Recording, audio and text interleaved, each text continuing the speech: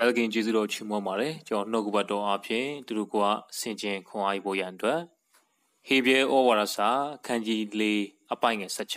16ထို့ကြောင့်ငါတို့သည်တနာခြင်းကိယူနာကို၎င်းတော်လျော်သောမဆခြင်းကျေးဇူးတော်ကို၎င်းခံရမည်အကြောင်းရဲရင်သောစိတ်နှင့်ကျေးဇူးပလင်တော်သို့တိုးဝင်ချင့်ကပ်ကြကုန်အံ့ဒီနှုတ်ကပတ်တော်ကတော့ဘာကိုဖော်ပြလဲဆိုရင် သခင်ယေရှုခရစ်တော်အားဖြင့်ကျွန်တော်တို့ကဖရာသခင်ထံတော်ပါသို့ရဲရင်သောစိတ်နဲ့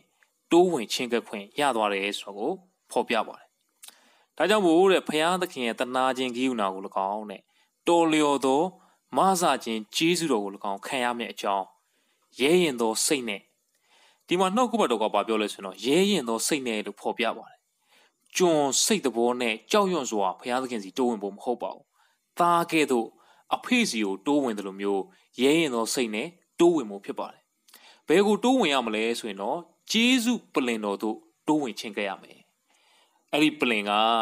တရားစီရင်တဲ့ပလင်မဟုတ်ပါဘူး။ဒဏ်ခတ်တဲ့ပလင်မဟုတ်ပါဘူး။ဂျေစုတော်ပလင်ဖြစ်တယ်။ဒါကြောင့်ဘုရားသခင်ကကျွန်တော်တို့ကိုတနာတဲ့ဘုရားဖြစ်ပါတယ်။ကျွန်တော်တို့ကိုမဆာမဲ့ဘုရားဖြစ်ပါတယ်။ကျွန်တော်တို့ကိုဂျေစုပြုမဲ့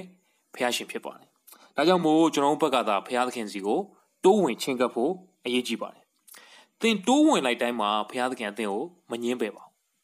။တမန်ကျမ်းစာထဲမှာဒါဝိဒ်အသက်တာကိုဘုရားသခင်နှစ်သက်ရတဲ့အကြောင်းရင်းတစ်ခုကဒါဝိဒ်ကမှားရင်အဲ့ဒီမှားတဲ့နေရာမှာသူကရက်မနေပါဘူး။မှားတဲ့နေရာမှာဆက်မနေပါဘူး။အဲ့ဒီမှားယွင်းမှုတွေကနေပြီးတော့ဘုရားသခင်စီကိုသူတိုးဝင်တယ်။ဘုရားသခင်ရင်ဝင်တဲ့ကိုတားခဲ့သူတိုးဝင်တဲ့အခါမှာဘုရားသခင်ရဲ့ခွင့်တော်ခြင်းနဲ့မဆာခြင်းကျေးဇူးပြုခြင်းကိုပြန်ခံစားရတယ်ဆိုတော့ကိုကျွန်တော်တွေ့ရပါတယ် ဒါကြောင့်မို့သင်လည်းသင်ရဲ့မှားယွင်းမှုတွေထဲမှာဆက်မနေပါနဲ့ဖခင်ရဲ့မဆာခြင်းကျေးဇူးတော်ကိုခံစားဖို့သားခဲ့သူဖခင်သခင်စီကိုတိုးဝင်လိုက်ပါဘဝမှာအဖြေမရှိတဲ့အခါသင်ကိုဘယ်သူမှမကူညီနိုင်တဲ့အခါမှာသင်ရဲ့အိမ်မက်တွေကလည်းဖြစ်မလာဘူးသင်ရဲ့မျှော်မှန်းထားတဲ့အရာတွေကသေဆုံးသွားသလိုဖြစ်တဲ့အခါမှာဝမ်းနဲ့စိတ်ပြည့်စရာတွေခါးသီးမှုတွေနဲ့ဘဝမှာကြုံတွေ့လာတဲ့အခါမှာအဲ့ဒီခါးသီးမှုတွေထဲမှာဆက်မနေပါနဲ့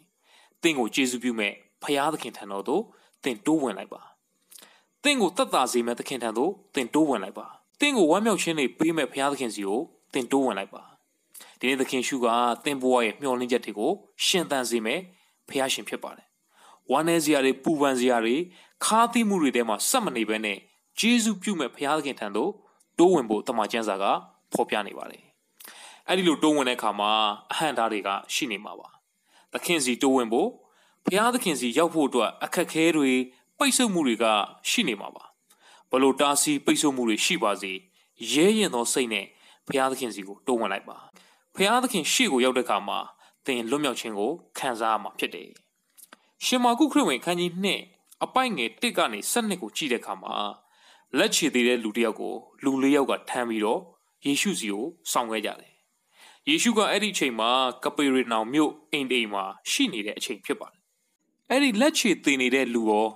သူ့ကိုထမ်းဖို့ပေးမဲ့လူလေးယောက်ကရောသခင်ရှုရှိကိုရောက်မယ်ဆိုရင်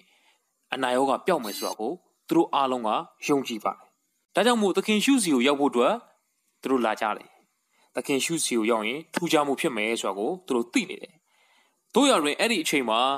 လူအုပ်ကြီးကသခင်ရှုရဲ့အိမ်ထဲမှာရောအပြစ်မှာပါပြည့်နှက်နေတယ်။လူအုပ်ကြီးကသခင်ရှုစီမရောက်ဖို့အတွက်ပိတ်ဆို့စီးတားနေပါတယ်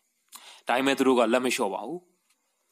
အဲ့ဒီအိမ်အမိုးပေါ်ကိုတက်သွားပြီးတော့သခင်ရှုရှိတဲ့နေရာအပေါ်မှာအမိုးကိုဖောက်ပြီးတော့လူနာကို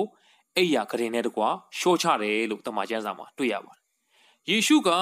အဲ့ဒီလူတွေရဲ့ယုံကြည်ခြင်းကိုတွေ့တဲ့အခါမှာကျမ်းစာဘလို့လဲဆိုရင်တော့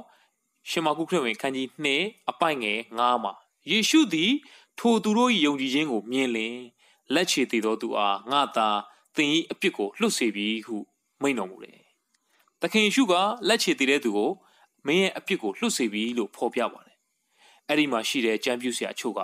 ဒါဖះကိုလွန်ကျူးတာပဲလို့သခင်ရှုကိုစိတ်ထဲကနေပြောပါတယ်။သခင်ရှုကကြံပြူဆရာတွေရဲ့စိတ်ထဲမှာတွေးတောတာကိုသိတဲ့အခါမှာလူသားကမြေကြီးပေါ်မှာအပြစ်လွတ်ပိုင်တယ်ဆိုတာကိုသိစေဖို့အတွက်ဤကဲ့သို့ပြောရခြင်းဖြစ်ပါတယ်။ထို့နောက်အဲ့ဒီလက်ချေသေးသောလူနာကိုထလောကိုအိယာကိုဆောင်၍ကိုအိမ်သို့သွားလို့ဟု သင်အားငါဆိုသည်ဟုလက်ချေသေးသောသူအားမိန်တော်မူ၏လို့တမန်ကျမ်းစာမှာဖော်ပြပါတယ်။သသခင်ရှုကအဲ့ဒီလက်ချေသေးတဲ့လူနာကိုဖြောကပျောက်ကင်းစေလိုက်တယ်ဆိုတာကိုတွေ့ရပါတယ်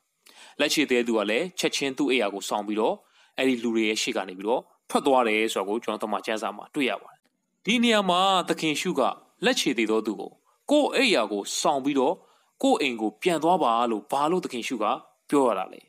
အမှန်တကယ်ဆိုရင်မင်းအိယာကိုထားခဲ့ပြီးတော့မင်းအိမ်ကိုပြန်တော့လို့ဒီလိုပြောရမှာမဟုတ်ဘူးလားဒီအိယာကသူနှစ်ပေါင်းများစွာအိတ်ခဲ့တဲ့အိယာဖြစ်တယ်ဒီအိယာကသူ့ကိုဆွဲချတဲ့အိယာဖြစ်တယ်ဒီလိုသူ့ကိုနှစ်ပေါင်းများစွာချုပ်ကင်ထားတဲ့လွှမ်းမိုးထားတဲ့အိယာကိုဘာလို့ယေရှုကဆောင်ခိုင်းရတာလဲအတိတ်ပဲကတော့လမ်းမှာလူတွေကတွေ့ရင်အိယာနဲ့တကွာလက်ချေတည်တဲ့သူကိုတွေ့ရင်ဟာဒီလူကဒီအိယာပေါ်မှာနှစ်ပေါင်းများစွာ အိတ်ခဲ့တဲ့လက်ချေတည်တဲ့လူမဟုတ်ဘူးလားအခုပျောက်သွားပြီဆိုပြီးတော့ဖယားသခင်ရဲ့အံ့ဩဖွယ်ရာနမိတ်လက္ခဏာကိုလူတွေချီးမွမ်းဖို့သိမြင်စေဖို့ဖြစ်ပါတယ်။ဒါကြောင့်မို့ခြေသွင်းကြီးကိုရောက်စီတိုင်းသင်လဲသခင်ရှုစီကိုတိုးဝင်လိုက်ပါ။တိုးဝင်ဖို့အတွက်ပိတ်ဆို့နေတဲ့အတားအဆီးတွေရှိကောင်းရှိမှာပါ။ဒါပေမဲ့စိတ်မပူပါနဲ့။သင်ကိုမဆာမဲ့သူတွေကိုဖယားသခင်ကပြင်ဆင်ပေးထားပါတယ်။လက်ချေတည်တဲ့သူဟာသူ့ရဲ့ကိုယ်ပိုင်အားဖြင့်ဘလို့မှယေရှုစီကိုမတိုးဝင်နိုင်ဘူး။ဒါပေမဲ့သူ့ကိုကူညီပေးမယ် လူ၄ယောက်ကိုဖယားကပြင်ဆင်ထားပါတယ်ဒီလိုပါပဲသခင်ရှုစီကိုရောက်ဖို့အတွက်သင်ကိုကူညီမဲ့သူတွေကိုဘုရားကပြင်ဆင်ထားပါတယ်အဓိကကသင်ဘက်ကစိတ်မလျှော့လိုက်ဖို့ပါပဲငါကတော့မရတော့ပါဘူးငါကိုကကန်ဆိုးတာပါငါနေတဲ့မြို့ကိုယေရှုကရောက်ရသားနဲ့ယေရှုရှိကိုငါမရောက်နိုင်တော့ဘူးလို့သင်စိတ်မလျှော့သွားဖို့ပဲဖြစ်ပါတယ်လှည့်မပြန်သွားဖို့ပဲဖြစ်ပါတယ်သင်ဘလို့ပဲဖြစ်ဖြစ်ယေရှုစီကိုရောက်အောင်တိုးဝင်မယ်သခင်ရှုစီကိုရောက်ရင်ငါပျောက်မယ်လို့ယုံကြည်ခြင်းစိတ်ရှိမယ်ဆိုရင်ဘလောက်ပဲတားဆီးမှုတွေရှိပါစေ ဘလောက်ပဲပိတ်ဆို့မှုတွေရှိပါစေသင်ကိုယေရှုထံကိုပို့ဆောင်ပေးမဲ့သူတွေကိုဘုရားကပြင်ဆင်ပေးထားမှာပါလက်ချေတည်တဲ့သူကတသက်လုံးသူ့ကိုသယ်ဆောင်ထားတဲ့သူ့ကိုချုပ်ကင်ထားတဲ့အဲ့ဒီအိယာကိုသူကပြန်သယ်သွားနိုင်တယ်ဆိုတာကိုတမန်ကျမ်းစာမှာတွေ့ရပါတယ်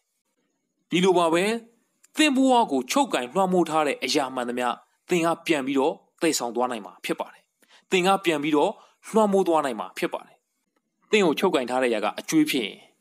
ယေရှုရှိကိုရောက်တဲ့အခါမှာသင်ဟာအဲ့ဒီအကျွေးရဲ့အထက်မှာအဲ့ဒီအကျွေးကိုပြန်ပြီးတော့ချုပ်ကင်နိုင်တဲ့သူဖြစ်ပါလိမ့်မယ်။သင်ကိုချုပ်ကင်ထားတဲ့ရကသင်ရဲ့အသွေးသားဆန္ဒဖြင့်ယေရှုစီကိုသင်တိုးဝင်လိုက်တဲ့အခါမှာအဲ့ဒီအသွေးသားကိုသင်ကအောင်မြင်တဲ့သူဖြစ်အသက်ရှင်နိုင်မှာဖြစ်ပါတယ်။သင်ကိုချုပ်ကင်ထားတဲ့ရကဒီလောကအရာတွေဖြစ်ရင်ဒီနေ့သခင်ရှုစီကိုရောက်တဲ့အခါမှာအဲ့ဒီလောကအရာတွေကိုသင်ကပြန်ပြီးတော့လွှမ်းမိုးချုပ်ကင်နိုင်တဲ့သူအဖြစ်အသက်ရှင်နိုင်မှာဖြစ်ပါတယ်။ဒါကြောင့်မို့ချစ်တော်ညီကောင်ရောက်စီတိုင်းသင်ဘဝရဲ့ကြည်ကွဲမှုတွေ ဝမ်းနည်းမှုတွေ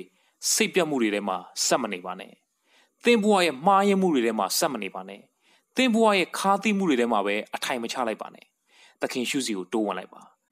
ဒါကြောင့်ဘုရားသခင်ရဲ့တနာခြင်းကိူနာကို၎င်းတော်လျော်သောမဆာခြင်းကျေးဇူးကို၎င်းခံစားရဖို့အတွက်ရဲရင်သောစိတ်နဲ့သားကဲ့သို့သောစိတ်တော်နဲ့ဘုရားသခင်စီကိုတိုးဝင်ပြီးတော့နေ့စဉ်အသက်ရှင်တော်သူများဖြစ်စေဖို့အတွက်ဝင်ငှပါတယ်အားလုံးပေါ်မှာဖျားရှင်ကောင်းကြီးပေးပါစေ။